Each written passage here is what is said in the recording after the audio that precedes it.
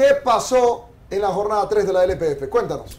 Una jornada 3 de la Liga Panameña de Fútbol con partidos bastante interesantes, también con una que otra polémica. Vamos a repasar los resultados de esta jornada 3 que arrancaba con ese partido entre Alianza y Plaza Amador, partido que se jugó en el Javier Cruz. Termina llevándose la victoria el Plaza Amador de Mario Méndez, 0 por 2 con gol de Ovidio López y de José Matos. Ojito con este Plaza Amador porque ha venido para revolucionar la conferencia este, que es la más complicada de la Liga Panameña de Fútbol, y ha logrado dos victorias en tres jornadas. El siguiente partido, el derby del, oeste, que ya le voy a preguntar a Chepe Bomba, termina llevándoselo el CAI 3 por 0.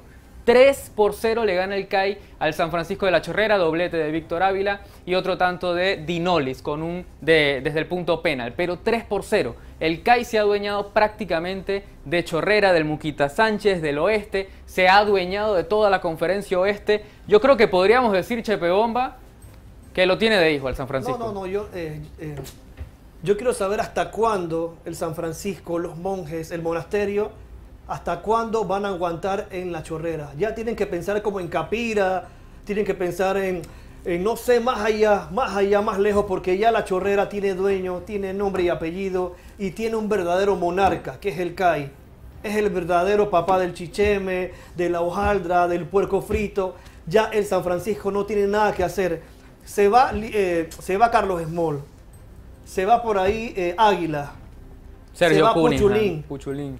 ¿Qué más tiene que hacer el CAI para debilitarse? Y aún así, sin nadie, sin pocos jugadores, le sigue metiendo su tiquitaca, su baile. Gary Stempel, mister, ya es hora de que abandone el San Francisco, está manchando su prometedora y hermosa e histórica carrera con este equipo que no dice nada. Ya, Gary, ya, cuelgue los guantes, vaya Universitario, vaya Chiriquí, vaya Colón, vaya Plaza, vaya Tauro, pero ya en San Francisco no hay más nada. Hay un solo líder, un solo rey y es el CAI. Punto y pelota, mentira no es. Eh, vamos con el compacto de los videos. Cristian Colina, ¿qué pasó en esta jornada número 3? Quiero ver los goles. Aliméntanos también con todo lo que pasó en esta jornada número 3. Vamos, Cristian Colina. Vale, este era el partido que estábamos comentando. CAI ante San Francisco. Victoria contundente de parte del CAI. Aquí vemos el primer gol por parte de Víctor Ávila. Lipo Ávila, que fue el goleador del torneo pasado y que en este torneo también arranca marcando con una buena cuota goleadora. Vemos el remate, termina siendo desviado por el defensa de San Francisco con cierta complicidad y así arrancaba entonces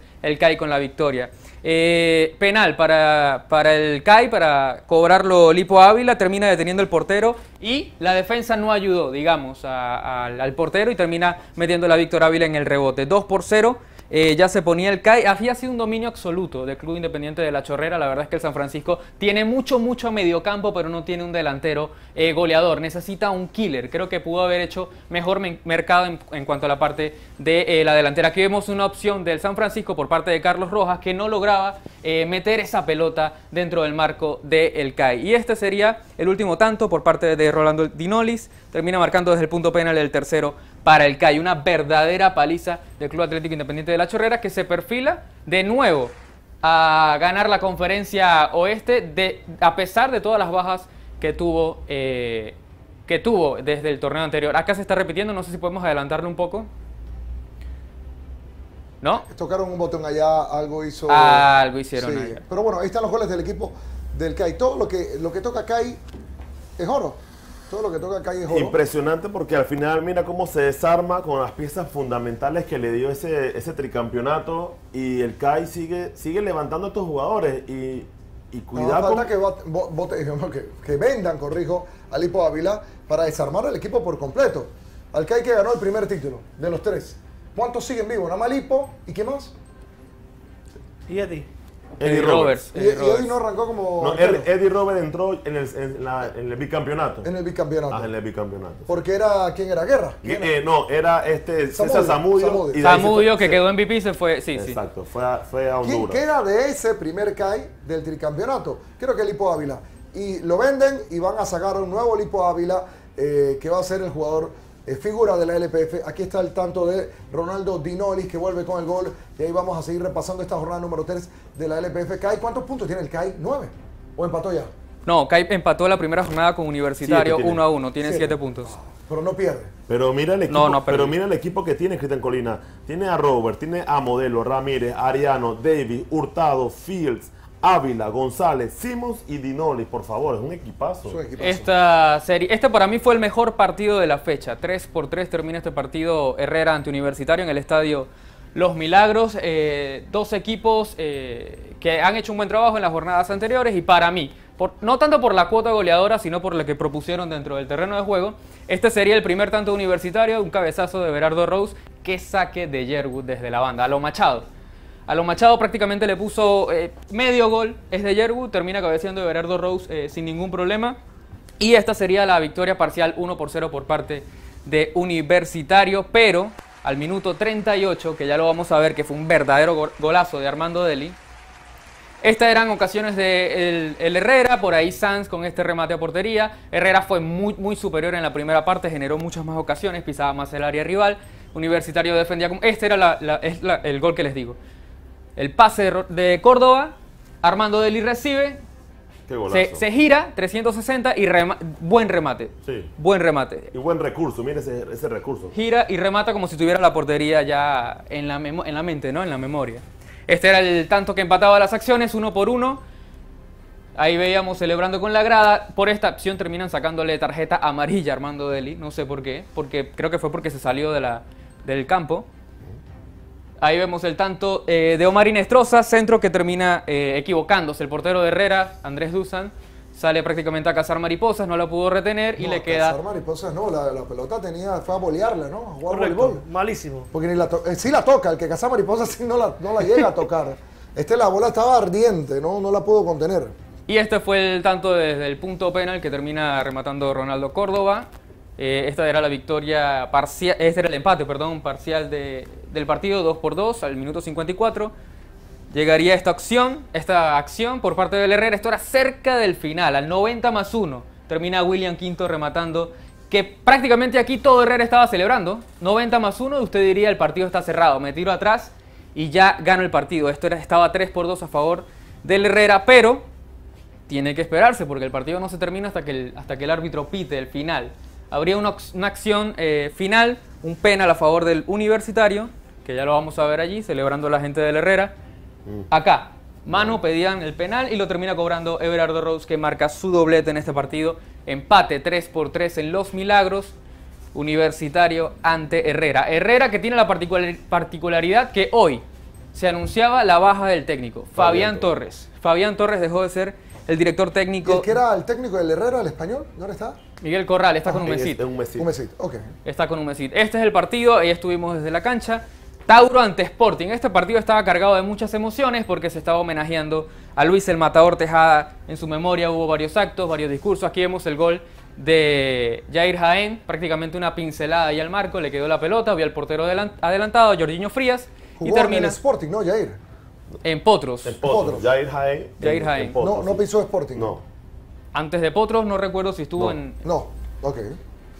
No recuerdas. Este partido terminaría 1 por 0 a favor de Tauro. Por ahí el Sporting San Miguelito eh, mejoró en la segunda parte cuando entraron Rolando Herrera, cuando entró Joel Barría, cuando entró el mismo Gaby Torres que estaba en la banca. Eh, Jair Palacios termina dejando a Gaby Torres en la banca. Yo creo que por la, por la jornada que hay entre semana, como había jornada entre semana, por ahí para descansarlo, eh, estuvo desde la banca, pero sí se notó el cambio en Sporting cuando entraron estas tres figuras. De hecho, a partir de ahí, de ahí generaron más ocasiones. Acá no hay, creo que en el resumen, en el compacto, no está el fuera de juego, pero hubo gol de Rigoberto Niño que terminan anu- anulando por un fuera de juego Niño de, del Tauro, ¿no? de No, Sporting. de Sporting. Se lo llevó Jair Palacio porque Ah, estaba, estaba en Champions, en, la- en Liga Pro, y de ahí se fue para, para el Sporting para reforzar la, la Ahí la vemos zona. combinación Rolando Herrera, Joel Barría. Y esta era la última. Rafaela Gámez tenía para liquidar al Sporting 2 por 0, pase de Omar Brownie. Rafaela Gámez que hizo su debut, el colombiano, que lo acababan de anunciar dos días antes. ¿Quién dirige Tauro actualmente? Actualmente está Luis Ortiz, de Luis Ortiz. director interino, Ok. que es el director técnico de la femenina. Bueno, era, Fue. porque ya no existe Fue. el Tauro femenino. Mm. Eh, de esta manera entonces ganaba el Tauro. Quiero mencionar algo del Tauro antes que, que vayamos al partido Mesit Veraguas. Se retiró la camiseta número 13 del Matador Tejada eh, el día de, de ayer en un acto especial. Eh, ¿Alguien no la estaba usando? ¿No? no, no recuerdo quién fue el último que lo usó, sinceramente, el 13 de Tauro. Pero no se va a utilizar ni en LPF, ni en ninguna categoría, ni en, ni en Liga Prom, ni en femenina, ni no se va a utilizar más la 13 de Luis el Matador Tejada. Eso fue parte del gesto conmemorativo, ¿no? Para honrar la memoria de Luis el Matador Tejada. Humecida ante Veraguas. Este puede ser el clásico de Atalaya. Pregunto yo. Derby, el derby. El, No, el derby de Atalaya. No, no. El derby de El derbi de. Atalaya. El derbi de- el derbi de nada. No, el derby de la FEPA Food. Porque fue- es así. Pero debe ser el derby de, no sé. de- El derby de la locura, de debe la ser. de, la, sí. de la FEPA Food. el de- el- De la locura, de la locura, porque un equipo no es de ahí y el otro sí, ¿no? Sí, ¿Cómo terminó esto, Cristian 1-1, no? Uno por uno. eh, por parte de Veraguas anotó Sahel y por parte de Humecida anotó Emanuel Chanis. Yo puedo decir que sí es el, es el, es el nuevo derby de, de Atalaya. El derby de Humecid, Atalaya. ojito con, con el, con el Humecid de Miguel Corral, a pesar de que tiene muchos chicos jóvenes. Y bien, no, no, no. Eh, bien reforzado, Cristian Colina. Muy bien reforzado. Hizo casi una limpieza de plantilla. 16 jugadores, dijo No en se una entrevista. Humecid, ese es mi nuevo equipo. Yo no sé el de Yo ustedes. tengo la camiseta de Humecid, no Sí, sé yo usted. Yo, Yo ah, también. Nosotros tenemos alta vinculación con Humecid. Un abrazo a toda la familia. eh, Sí, los, los, los nietos. nietos, la familia Sí. Nietos, que está trabajando duro para mantener esto. Y terminaba entonces uno por uno. Vamos a ver la tabla. ¿Jugó el Árabe Unido? Sí, ese no lo tenemos en compa el video, el, el resumen. ¿Qué Eh, terminó. ¿Quién lo transmitió? Creo que TV Max. ¿TV Bien. Max? Creo que TV Max. ¿Por qué no tenemos el partido de. ¿No te pasaron de- la- No, no. Es correcto. Pero podemos pasar esto, ¿no? Esto es derecho de. No, no hay restricción, ¿o sí hay? Nada más se menciona. No, no hay restricción. Eh, es Yo correcto. creo que si hablan con Alonso Solís, él te envía todos los resúmenes de la LPF. Correcto. Todos. Habría que escribirle. Eh, Árabe Unido termina cayendo 1 por 0. Ok, vamos con la tabla de posiciones, señor Cristian Molina. Ajá, ¿cómo terminó Árabe Unido? 0-1 con Potros. La primera victoria de Potros del Este con gol de John, Ca- eh, de John Gómez. Tu club. No es mi club. Ah. No es mi club. Potros, Eh, ¿ya primera- renunciaste? No, usted le gustaba Ya lo he dicho no, aquí espera, varias veces. ya lo he no, dicho. no, no. Vamos, vamos, Esto vamos. otra vez lo voy a decir No, no, acá. no. Pon la Otra risa vez. Jimmy, pon la risa de Jimmy. Esto va a ser eh, para toda tu vida. Eh, Mira que no fui yo.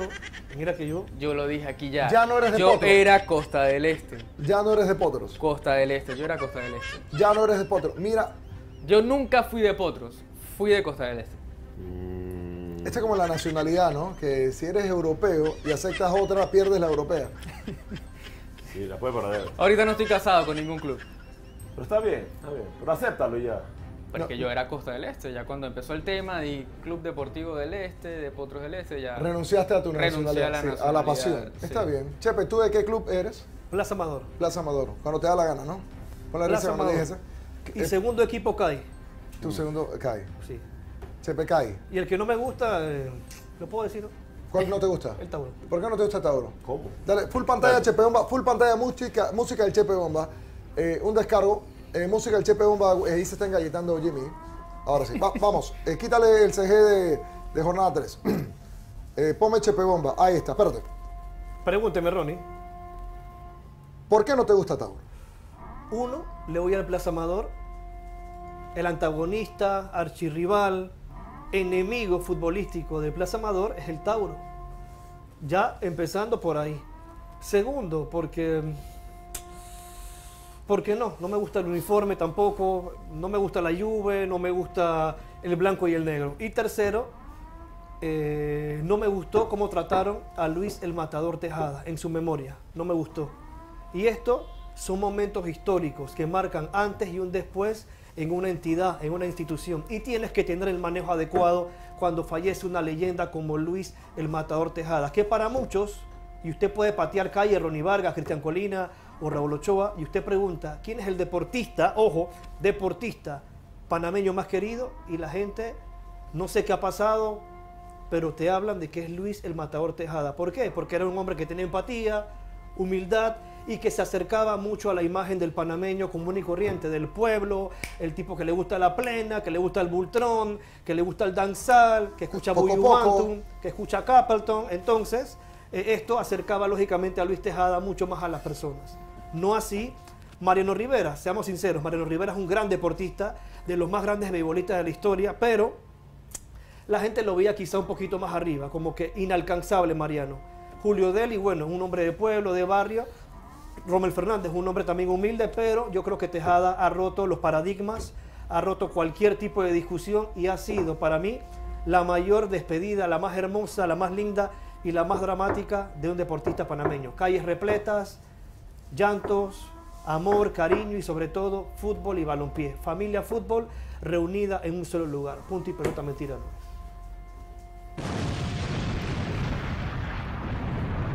Ok. ¿No te gusta Tauro? Yo sí tengo amigos taurinos. Un abrazo a los directivos del Tauro, a mi primo Álvaro Vargas, a Carlos Guillermo Martans, a Chicho y a Pepe Nava. Pepe Nava, un abrazo a mis amigos taurinos. Eh, es cuestión de gusto, ojo, es cuestión de gusto, Chepe. eh, tiene sus razones y hay que respetar. Ojo, Ronnie, tengo muchos amigos taurinos. A ver, dime amigos taurinos. Eh, Chicho Martans, el señor Nava, Álvaro Vargas, Robert Sauner, todos los utileros, eh, Jugadores. jugadores, fuentes. Iba a la Pedregaleña, a mí nadie me echa cuento de Tauro. Yo iba a la Pedregaleña, hacer entrevistas con Tejada, cuando Tejada estaba como en el 2009, 2008, que regresó de, de Emiratos, que jugó en el Tauro también. Bueno, ahí en ese momento yo iba, Lucho Moreno, en su momento Edgar Murillo, con esa gran generación de Kenneth Chase. De Tauro no me hablen, de Tauro yo conozco, Edwin Aguilar, cuando vino el colombiano, no recuerdo el nombre, se me escapa el nombre del colombiano este que marcó muchos goles aquí, Julián, Julián Martínez, Julián algo, no recuerdo muy bien, pero Julián Álvarez es un reggaetonero. de Tauro, Sí. de Tauro conozco todo, tengo muchas amistades, pero no coincido, digamos, con esa mística taurina. Soy Plaza Mayor. Claro, si eres Plaza Amador no debes simpatizar con, el equipo del Tauro, eh, pero sí respetar eh, la fuente de los directivos, es un gran club, de ahí salió Matador 100%. Tejada, Ismael Díaz, Coco Carrasquilla. Eh, mi respeto a los amigos del Tauro. Quiero hacer un paréntesis porque el amigo Martín Robinson se suscribió al canal del marcador. Bien. Un aplauso para él. Él dice, Martín Robinson suscrito, pero no es miembro. Martín, para que seas miembro del canal del marcador, tienes que son 1.49 al mes. Ahí dice super chat, ¿no, Cristian? No, Superchat es para resaltar tus mensajes en el chat. Ajá, ¿y cómo para suscribirte? Para hacerte miembro, después que te suscribes, en el video abajo hay un botón que dice unirme al canal del marcador. Unirme al canal del marcador. ¿Dónde está eso? Debajo del video. ¿Usted está suscrito, Ronnie Vargas? Sí, yo estoy suscrito, claro. ¿Pon la risa? No, pon la risa, no la, la plata. Eh, Oye, pero aprovechando que está espérate, que, que viene la tabla de posiciones. Y lo otro, eh, por favor al productor, el señor DJ Fulo, porque ahora es DJ, DJ Fulo, eh, pedir los derechos de copyright para TV Max y Metcon, ¿no? A los amigos de TV Max y Metcon. Háblate con Alonso Solís, que la vez pasada estaba acá con nosotros. Vino con Gio Familietti, con el comisionado, para eh, pasar todos los partidos de la LPF acá en el marcador. Si no se puede, me avisan también, ¿no? No vamos a irrespetar. sí. No vamos a irrespetar nada, solamente lo hacemos para, para el bienestar de la afición del marcador y también para llevar a la liga a, a otra dimensión, a la luna. A la luna. Bien. Don Cristian Colina, ¿qué otro resultado faltó? No, ya lo dijimos todo, Todo. Vargas. Ahora, bonito, ¿qué- vamos. ahora, ¿cómo fue? 0-1 ante Potros. Primera victoria de Potros en el, en el torneo. ¿Quién dirige a Árabe Unido? Nino Valencia, Nino el Valencia. venezolano. Cristian, eh, sí, ajá, ok. Vamos con la tabla de posiciones Golden Boy. Tabla de posiciones de la Liga Panameña de Fútbol tras tres jornadas. Conferencia Este en primer lugar. Plaza Amador con dos victorias, un empate, siete puntos.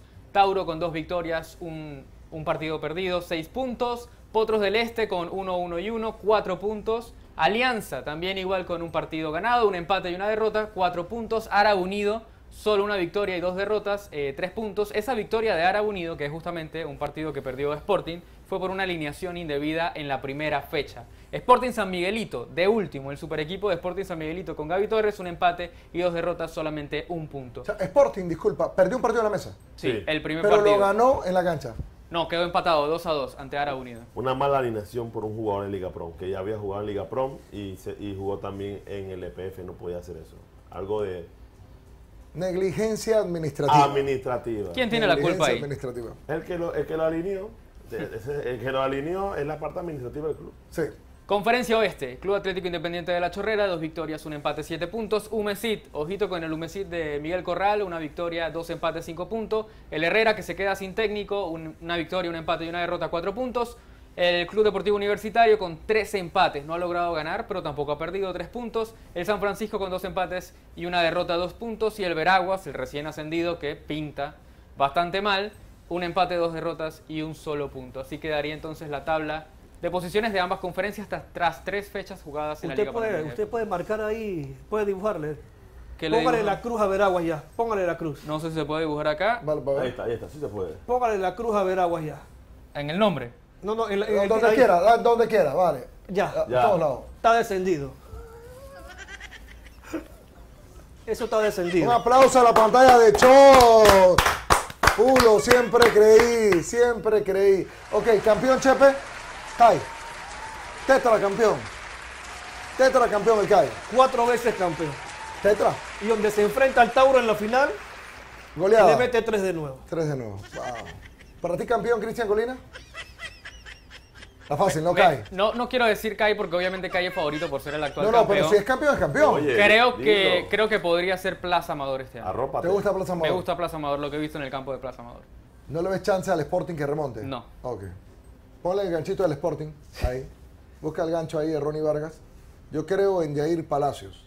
¿Qué quiere ponerle? Un ganchito de, bien. Sí, de- ganchito, ganchito.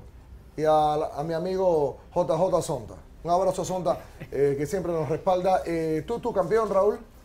Mi campeón. Estamos muy temprano para No, pero campeón. bueno, pero- No hay ¿esto sonido de, cepillo ahí, productor. No hay... sí, Dale, Raúl. ¿Cuál es tu campeón, Raúl? mi campeón será Plaza Amador también. Plaza Amador. Plaza Amador levanta. Cristian dijo Plaza y Tacuara dijo Plaza. Sí. Y Chepe hizo Kai. Negrito Quintero va a levantar esa copa. Ok, Negrito Quintero, Negrita. Negrita. Pero, pero yo no puedo creer, ¿cómo Herrera contrata a los técnicos? Usted sabe qué pasó a con Fabián Fabián. Torres. Dígale a la gente qué pasó con despide, se- a- manda su carta porque dice que las condiciones necesarias, como mínima, por lo menos me imagino que agua, un banquillo para que te sientes, para que puedas entrenar algunos conos, no se lo pueden dar y el hombre se va y si lo ves, está con cuatro puntos.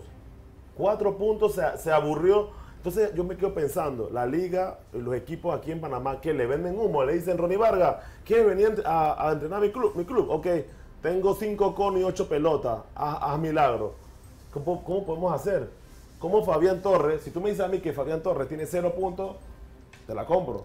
Pero estaba haciendo, está haciendo un buen papel, el equipo está concretamente eh, estable y él se aburre por las condiciones, me imagino que de o sea, unas condiciones muy malas que al final no hay ni cono para entrenar.